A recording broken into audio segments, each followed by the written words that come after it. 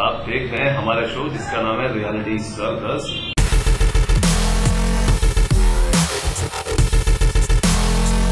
Last time में ये झलक दिखलाजा देखा मैंने कल भाई लेविश ये बड़ा चीज़ें बम फट रहे हैं ये वो। हम्म, देखो भैया इस बार की बेस्ट बात है एक तो हमारी माधुरी दीक्षित। इसमें तो नो डाउट दूसरे हमारे भाई कपिल शर्मा।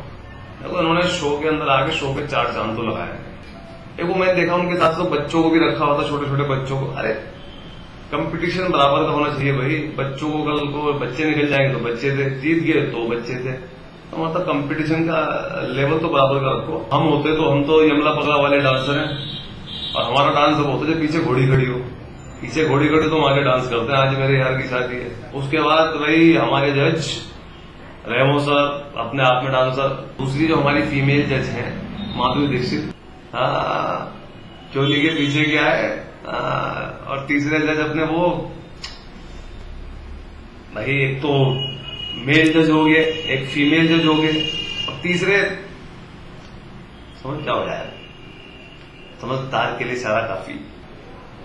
तो हमारे तीसरे हैं हमारे करण जौहर पार्टिसिपेट में देखा हमने अम्मा जी आई। अम्मा जी का वो रूप और आज सड़ा मार दूँगी तुझे और उसके बाद जो जिस तरह के उनके डायलॉग होते थे हम तो अम्मा जी को सलाम है भाई। करण के बारे में दिखा रहे थे, करण बैड बॉय है, अब डांसिंग में कैसे है?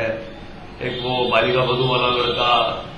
तो भैया डांस दिखाओ, हम डांस देखने के लिए बैठे हैं। इस शो के अंदर फालतू की चीज़ें मत दिखाओ। जो यमला, पगला, दीवाना मतलब हमारे धर्म पाजी सन्नी पाजी बॉबी पाजी भाई पंद्रह बीस मिनट तो खा गए।